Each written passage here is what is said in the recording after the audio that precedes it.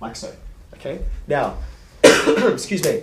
There's one more case. There's one more case. I've got um, obtuse versus acute. We're satisfied with that. I've got a big acute and a little acute. I'm okay with that. There's one other case I need to worry about. Where else could I put Z that might give me a different kind of case? On the other side.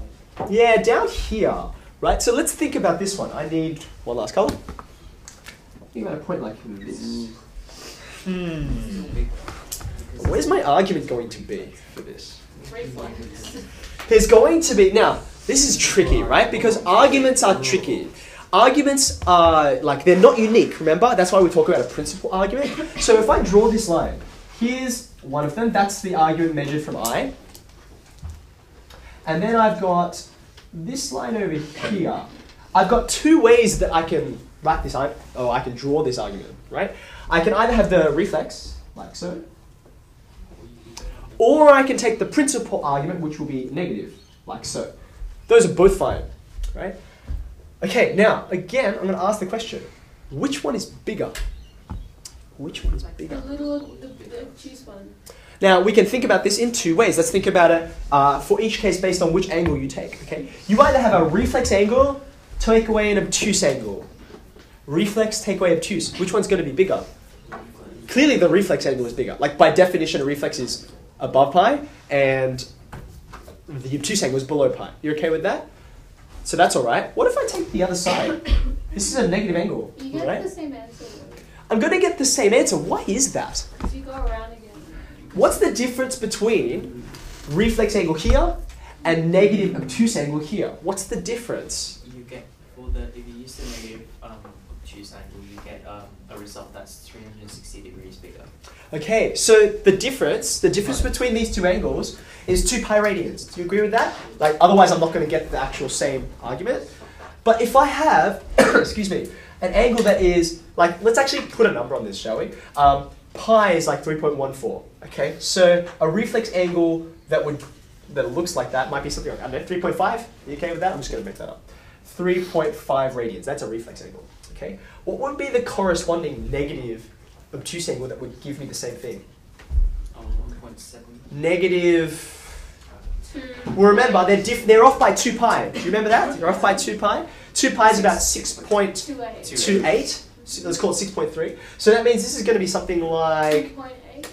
two point eight. That'll yeah, that'll do it. Like I'm, I'm just approximating. Yeah. Okay, now think about this, right? This is so negative. Remember, it's this angle take away that angle, not the other way around, right? Because subtraction is not commutative, right? This angle is so negative that when you subtract this one, you're going to whip around and be this minus 2 pi. Do you agree with that? Like it's a super negative angle, take away another obtuse angle, right? So it's going to be really, really negative. It's going to be so negative you're going to blow past minus 3.14. Okay? So therefore, you come back around and you'll end up with pi on 4. So it works. Every case we can come up with, it works. Okay? But let's think about what happens if you tried the other arc, this other major arc down the bottom, right? So if I draw it like so, pick a point for me, right? Let's pick an easy one like here. Let's call this Z instead. If I've got this angle and this angle, right? Where are the arguments that I'm measuring? Excuse me. So here is, here is arg of z take away 3 plus 2i. There's that one. Right? And then here is the other one. Okay? Now when you subtract this one, take away this, what's going to happen? Look, you've got an obtuse angle that's negative, and an acute angle that's also negative, right? You're not going to get pi on 4, are you? Right? You're going to get an, another negative obtuse angle, okay? So all of the cases down here, they don't work. You can try them out. You do case by case. And when you subtract, you will not get pi on 4. In fact, you'll get minus pi on 4. Okay? So if that's the case, if that's the angle I'm actually going to get, how would I change the equation? Like the very first thing I wrote, if you wanted me to draw this bottom arc, how would I change it? Wait, do we want both arcs? If I if I wanted both arcs, I'd have an absolute value. If you had a penchant for pain, okay. But if I just want the bottom arc, right? If I just want the bottom arc, I want it to be minus pi on four. It's a bit awkward, so let me just write it with the minus sign on the other side. So you kind of can write it with the minus sign on the other side, like this. It'll flip around these two arguments. Do you agree with that? Whoops. Oh. Plus 2i equals pi on 4. Do you see I've just popped the minus sign over here, which would in turn mean I just take the reciprocal, right? I'm subtracting them in a different order, and that will give me the bottom up. Does that make sense? Okay, so like I said, you can't work out the equation of this just yet, but that's all right. You know enough to draw this thing, and you can make it so that that's approximately pi on 4. You know you're going to get a bigger arc. And the smaller the angle is, do you remember when I asked you to get a really small angle? I asked you to give me like 10 degrees or something like that, which is pi on, come you guys can tell me what 10 degrees is. 18. It's pi on 18, right? You get this enormous circle out here, right? So the smaller this angle is, the bigger your arc will be. Okay? So, Yeah. um, if you were, um, say hypothetically, you're gonna the green equi- like you have um, args and minus one, yeah. So is, is that like that really small one, or is it the really big one? That so It's going to be this one here. It's going to be that one there. Well, it's still subs. Oh wait, yeah.